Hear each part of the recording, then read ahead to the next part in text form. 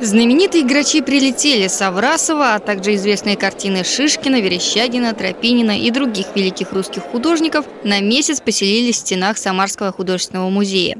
36 картин привезли из Нижнего Новгорода, поскольку там музей закрылся на реконструкцию. В экспозиции картины, которые часто используют в качестве иллюстраций в книгах и учебниках.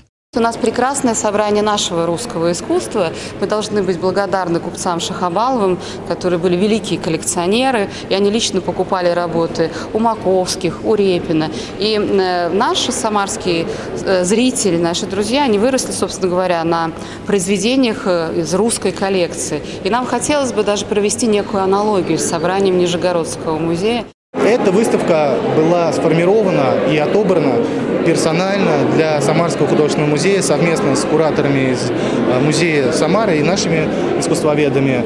В таком составе эту выставку не увидят нигде. В числе первых экспозицию оценила глава Самары Елена Лапушкина. Выставка получила название «Азбука шедевров», и это совсем не случайно, уверены зрители. Я колеблюсь между словами «счастлив» и «восторге», потому что э, я был в Нижнем и ходил в музей, все это смотрел, но это было давно, а сейчас это здесь, и можно опять замереть перед Куинджи или Саврасо.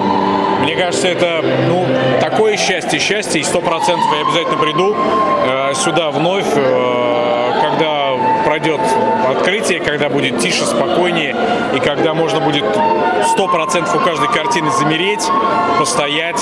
Хотя, наверное, это займет около полудня, чтобы все это пройти и почувствовать это очень хорошая выставка, и здорово, что ее привезли в наш город.